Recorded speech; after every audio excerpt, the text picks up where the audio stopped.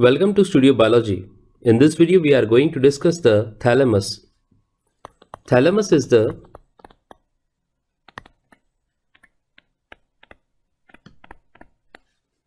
broadened swollen part of the flower which lies at the tip of pedicel and it bears floral organs. We can observe that this is thalamus. Thalamus is equal to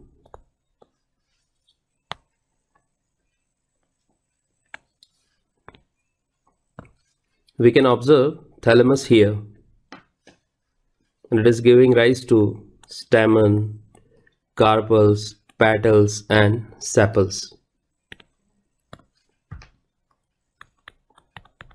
Thalamus is similar to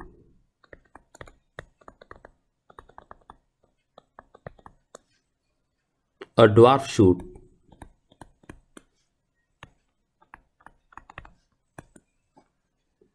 In which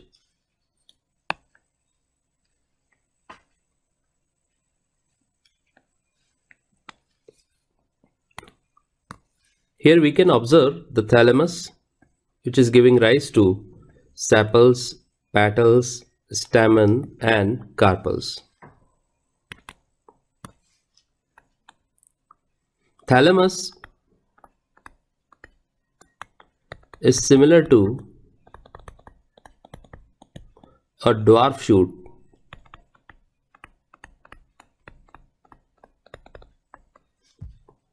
in which growth is definite and the internodes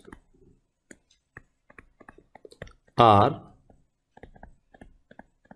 shortened or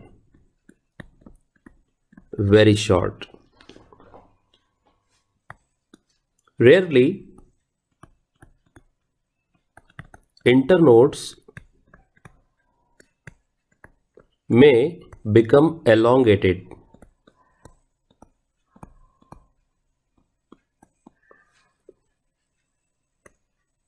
and various terms are used for these elongations. For example, these may be termed as anthophore,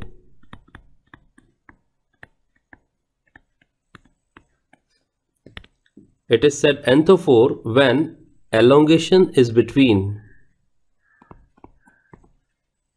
calyx and corolla. The examples include silene. The terminology will be androphore if elongation is between corolla and androecium. The examples include passiflora. The modification or terminology will be gynophore if the elongation is in between androecium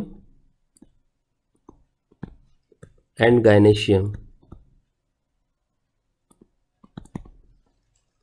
Examples include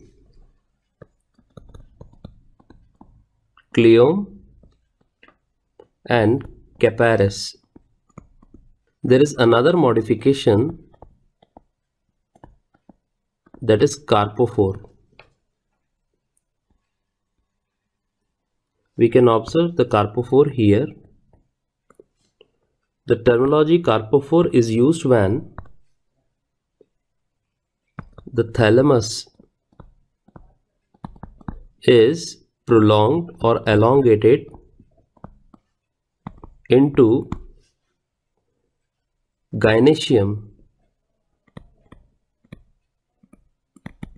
to form a central axis.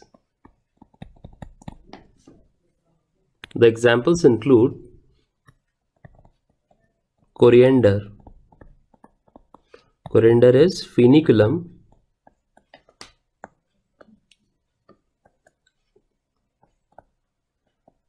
Foeniculum vulgare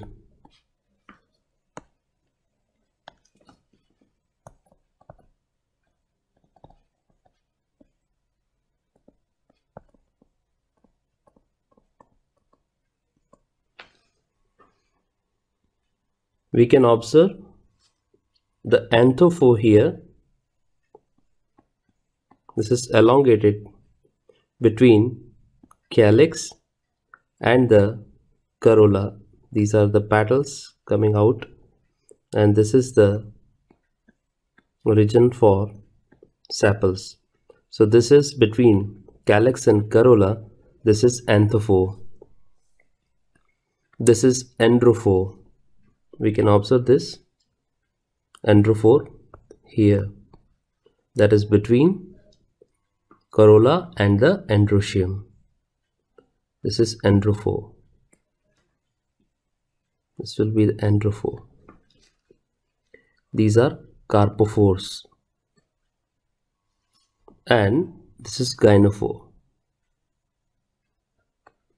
gynophore is in between androecium and gynoecium in case of Gynandropsis, we can observe gynophore and androphore both. So these are the few points of discussions about thalamus. Thanks for watching this video.